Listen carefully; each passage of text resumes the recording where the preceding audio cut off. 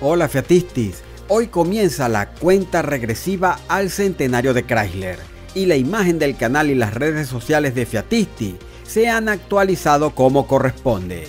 Estamos a seis meses del primer siglo de la otrora marca de lujo americana y que se encuentra muy probablemente en sus horas más bajas.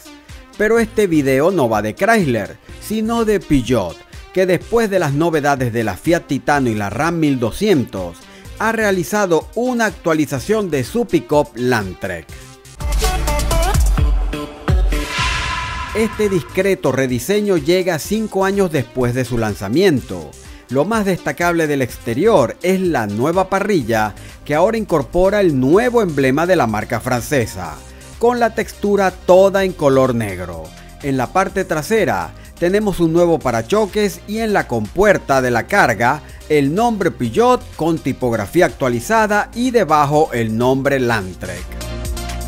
Pero es debajo del capó donde encontramos la gran novedad, el motor Multijet 2.2 litros turbo diésel, que entrega unos muy interesantes 197 caballos de fuerza y 332 libras pie de torque.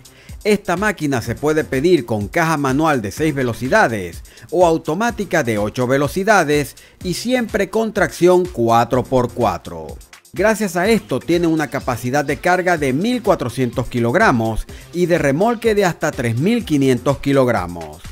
Siguen estando disponibles el 1.9 litros diésel de 148 caballos de fuerza y el 4 cilindros de gasolina con 2.4 litros que entrega 207 caballos de fuerza según el nivel de acabado.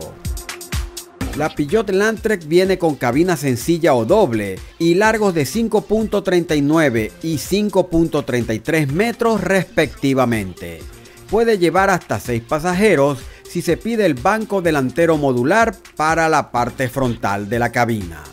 En esta ahora tenemos un tablero digital de 7 pulgadas más la pantalla central de 10 pulgadas. En el volante también nos encontramos el nuevo emblema de Peugeot.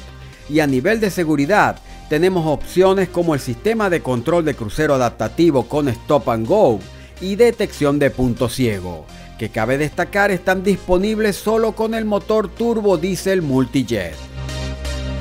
Esta pickup, basada en la Kaizen F70 y la Chang'an Lanta C de China, se vende bajo la marca Peugeot en 40 mercados de África, Medio Oriente y, como no, América del Sur. No te vayas sin dejar un pulgar para arriba, suscríbete a Fiatisti y activa la campanita de las notificaciones. Sígueme en las redes sociales y te invito a ver este video sugerido del canal.